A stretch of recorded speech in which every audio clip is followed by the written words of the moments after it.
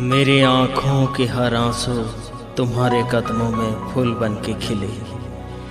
मैं रोता रहूँ, तुम संवरते चलो। ऐ खुदा ऐ खुदा, मुझे ये सजा दे, मेरा दिल जले, पर मेरी जान सलामत रहे।